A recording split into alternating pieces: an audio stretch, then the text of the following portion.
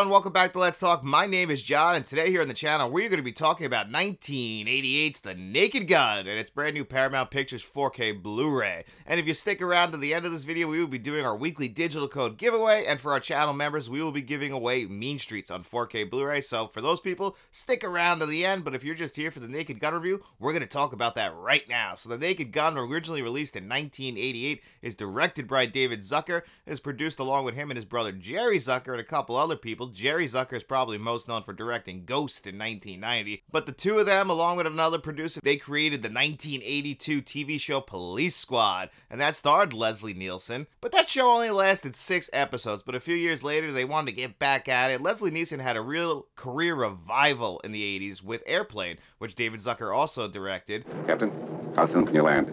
I can't tell. You can tell me I'm a doctor. Leslie Nielsen was really only known for doing, you know, straightforward dramas. That's what he was known for. He appeared in so many TV shows and movies. He wasn't known for comedy, but Airplane changed all of that. The slapstick humor, along with the straight faced comedy that he does, the deadpan delivery. Leslie Nielsen was perfect for this, and he was the king of the comedy world in the 1980s, or at least one of the kings of the comedy world in the 1980s, especially when it came to slapstick comedy. You know, that kind of was fading away. We kind of got more shock value comedy in the 1980s. If you look at Eddie Murphy, very different comedy style. But when you get to slapstick comedy, Leslie Nielsen was the king of that in the 1980s. You know, these jokes are coming at you a mile a minute in this movie, right from the time in the opening credits, where it just looks like we're on the roof of a police car. You got the gumball on top, it's driving through the city, and then before you know it, it's on a roller coaster, it's in a woman's locker room, and you're like, what the fuck is going on? But it's just absolutely hysterical, and Leslie Nielsen is perfect this movie. The fact he plays this entire movie straight straight. Everybody else around him is just like, what are you doing? And the only person who ever calls him out for being a bumbling idiot is the mayor. It, it took until about halfway through the movie for somebody to go, you're a damn moron. How did you get this far? And then the lines in this movie, they're just so funny. They just fly by. You don't even realize how funny they are. Like, they'll catch you off guard. You'll all of a sudden just be laughing at what is a really dumb joke, and you're thinking, wow, am I still that immature? Nice beaver. Thank you.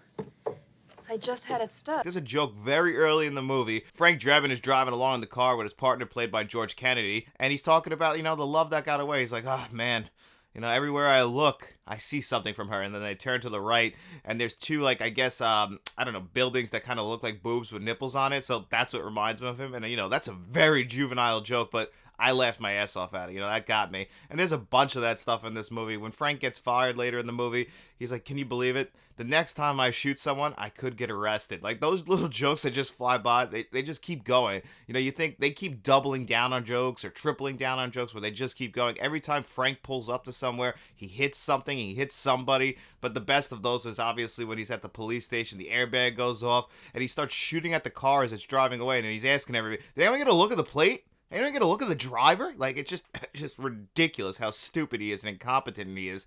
And it's just so, so funny. I mean, the supporting cast in this movie, other than, you know, George Kennedy and Ricardo Montalban, who many people will obviously know from Star Trek II The Wrath of Khan, and he's great in this movie as well, but you could just see that, like, him and Leslie Nielsen, George Kennedy are operating at the better acting level. We get Priscilla Presley in this movie, not really known for her acting, but she does a decent enough job in this movie. She's not asked to do too much. And then a little known bit actor named Orenthal James Simpson appears in this movie. Um, I don't think he really did too much after this. Nothing that's really too noteworthy, but you know, he's really for the most part in this movie in a coma and just getting the shit beat out of him by Leslie Nielsen, who's just you know supposed to be his best friend, but he's just making things so much worse for him. You know, there really isn't too much of a plot to this movie, and that's one thing about spoof movies. You know, you're really there for the gags. You know, David Zucker actually would end up going on and directing plenty of other spoof movies, including Scary Movie 3 and Scary Movie 4 after Keenen Ivory Wayans bowed out of the series, and really the Wayans brothers in general after Scary Movie 1 and 2. When you watch a David Zucker spoof movie,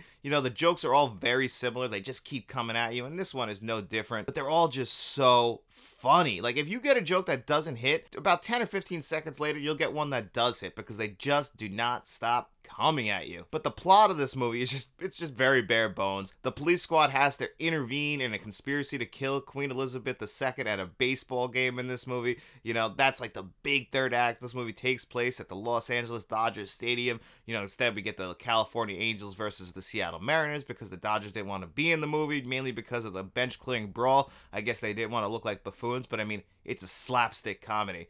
it's okay to be funny, guys. And I wish they would have done it because it's just very weird as a baseball fan looking at Dodger Stadium and seeing the California Angels logo all over it. But, you know, I'm sure not too many people care about that. I mean, there's many great jokes in that part of the movie as well with you know, Leslie Nielsen being the umpire. I could just go on and on. There's too many jokes to talk about in this movie in this one video. It's just absolutely hysterical. If you've never seen The Naked Gun or its two sequels, you're doing yourself a disservice because these are some of the funniest movies to ever come out. I mean, I know not everybody is into slapstick. Maybe I'm just still kind of like a child at heart, but just watching somebody get hurt is still really funny to me. That's why I, every time a new Jackass movie comes out in theaters, I'm there first day it comes out because at the end of the day, the kid in me still wants to see somebody get hurt. So that's unfortunate, I guess, but I absolutely love it. So I think you guys will love this movie too. But we're also here today to talk about its 4K Blu-ray, and that's what we're gonna do right now. Maybe this will refresh your memory. I don't know. It's still kind of hazy. How about this? Yeah, I remember him. I used to see him around. Why do you want to know? Can't tell you that. Well, maybe this will help. I really don't think I should. Yeah, you still don't think so? All right, his name is Nordberg. He's a cop. Here it is, the Naked Gun 4K Steelbook. At the current time in the United States, all you can get is the Naked Gun on 4K in this Steelbook version. There is no slipcover version or anything like that. So if you want the Naked Gun on 4K, this is how you were going to have to get it. And right now it's about $24.99 at the day of the recording, which is a little bit expensive, especially I've been talking here on the channel about Paramount releasing their catalog titles about $19.99. This one's a little bit more expensive, and I imagine it's because of the steelbook, but they didn't give us an option for a slipcover, and they give us pretty much everything you would expect from a Paramount 4K release, like we've been talking about Scrooge, or Trading Places. This is probably more comparable to Trading Places on 4K. And what I mean by that is this is a very much a middle of the pack Paramount 4K release. It's not any of their top shelf stuff like Top Gun Maverick on 4K.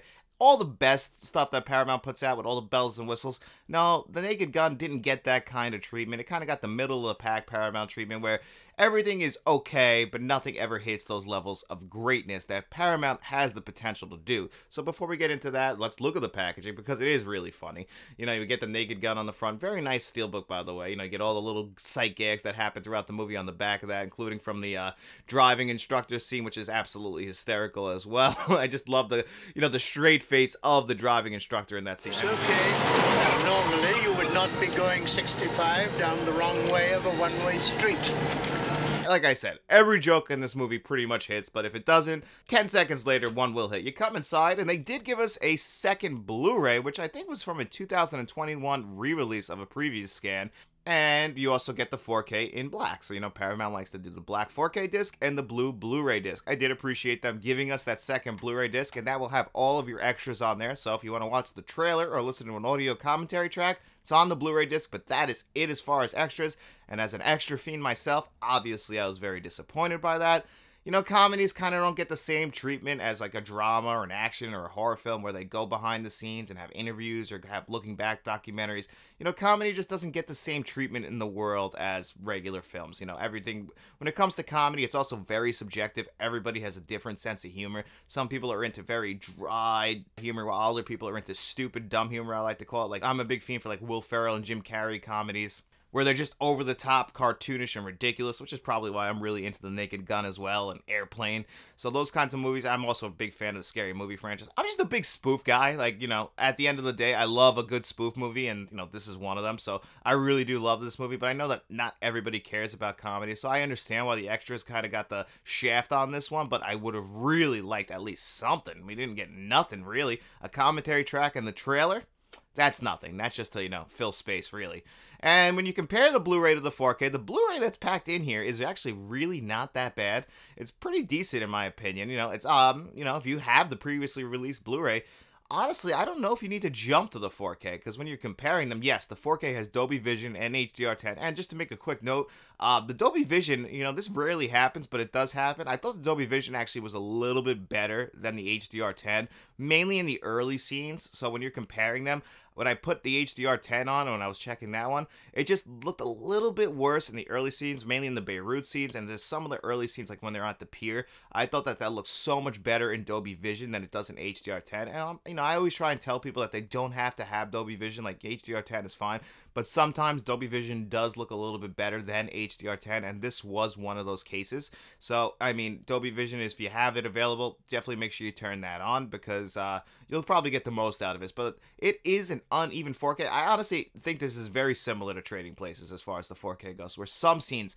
are just going to absolutely blow you away. Mainly the third act, where they are at Dodger Stadium and they're outside. All the outdoor scenes just look pretty much gorgeous. There's just some scenes where the skin looks uh, just slightly off, like when they're at the press conference you know, when they're talking about Queen Elizabeth coming to the United States, that's the scene where we get Leslie Nielsen going in the bathroom with the microphone. That just looks a little bit off in the 4K, but like nothing is really bad. It's just at times you'll notice that certain scenes will jump and it'll just look just stunning, like what you would expect from a Paramount 4K Blu-ray. And then other scenes it just looks a little bit too faded. The color looks a little bit off. You know, the HDR10 and the Dolby Vision still are going to brighten this up a little bit, give us more of a color gamut. And, you know, we're going to get that wider range where it can hit those deeper blacks while still maintaining the brightness. You know, the Blu-ray is obviously going to struggle with that, but the 4K really doesn't have too much of an issue with that. It's just, I guess maybe it's source material. I feel like sometimes Paramount is uh, a victim of what the source material is, and they don't want to really adjust it like manually, so they just throw the HDR10 and the Dolby Vision over it. And if it just looks bad in certain scenes, it looks bad in certain scenes because that's just the best guess I have. Because you will just notice that something is going to look great and then something is just going to look a little bit off. But again, nothing looks bad. Nothing is offensively bad about this 4K Blu-ray. It's just it, you know, you'll just see some inconsistencies and I think I said the same thing about Trading Places on 4K where I would say like 70% of the 4K is great, but about 30% is just a little bit off, but just you know, nothing terrible. But this is actually honestly what I would have expected from this. I still think it's a big jump from the Blu-ray, but not enough to justify the price tag. And because that Blu-ray is also not bad, it's really not a bad Blu-ray at all. You don't have to run out and grab this on 4K Blu-ray. Also, Paramount loves to release these at one at a time. So next year we might get the Naked Gun two and a half, and then the next year we might get the Naked Gun 33 and a third. You don't believe me? They do this every year with the Scream franchise. We're getting Beverly Hills Cop 3 this year after we already got Beverly Hills Cop 1 and 2 released on different years from each other. So Paramount loves to just reach in and take as much money from us as they can. They like to just release it over and over, and then eventually we'll get a box set like in the fourth year. Like we just got the Scream trilogy on 4K last year in a nice big box set, but it took until they finally released them all to get that. So I imagine next November or December we might get the Naked Gun two and a half on 4K because all three of these movies are really funny. Uh, I really think that the first one's still the best, but I still think that they're all really good. So I will get that when it eventually comes out. But you know, I would have liked a nice trilogy 4K box set instead of having to wait because I do think we'll eventually get them. But also the audio tracks that are on here, the DTS HD 5.1, it's the same audio track from the previous Blu-ray. They did not do anything different. It's a good audio track though, and again, it's a comedy, but there is a good amount of score in this movie, a good amount of action scenes. Everything is mixed very well, but obviously, I think they could have really sprung for a Dolby Atmos track, and it would have really been appreciated. I think they could have done a lot more with this audio track. It's not bad, but it's just nothing special, and I really think there was the potential for something special here, just because it is an action comedy, and I really think it would have been just just fun to have like the bells and whistles of a good audio track in here, but we didn't get that. But Paramount always does give us plenty of audio options and plenty of subtitle options, which I always appreciate the accessibility options, and they did a great job with that. But as far as the 4K overall, how would I rate this on a score of 1 to 10? I would still give this 4K Blu-ray a really solid 8 out of 10. Nothing special, but nothing bad as well. You know, when this drops down to like 19.99, I think that would probably be the perfect sweet spot. I can't imagine it dropping too much lower than that because it is a steelbook release, but you also get the Blu-ray packed in, which a lot of time that doesn't happen. It came with a digital code. You know, the 4K is still an upgrade over the previously released Blu-rays. And really, the lack of extras drags this down for me just because I love extras, but I understand why they're not in here. And, you know, I can appreciate that. But I still think it's a solid pickup. So if you do decide to pick this up, I do not think you'll be disappointed with it. But it's also Friday, and that means it's time for our digital code giveaway. In every single video that we put out on Friday, we ask you guys two digital code giveaway questions. All you have to do is answer one of those in the comment section below. As long as you do that, you come back to Monday's video, we put your name on a magic wheel, we spin that bad boy two times. The two names it lands on, they have their choice. The digital codes that you've seen on your screen before you today. And we're talking comedy. We don't get to talk comedy too much. I wanted to know what is your guys' favorite 1980s comedy movie? And I also want to know what is your favorite spoof or satire movie? Because technically, I think Robocop is a satire movie, so that could fall under that. But I want to know what is your favorite spoof or satire movie? So let me know that in the comments section below, and then just don't forget to come back to Monday's video. And for our channel members, it is time for us to put your name on a magic wheel and see if you are going to be the winner of this sealed copy of Mean Streets on 4K Blu-ray. So for the, anyone who's a channel member, I put your name on a magic wheel and I just spun that wheel and I already know who the winner is, but you don't yet. So let's go to that right now.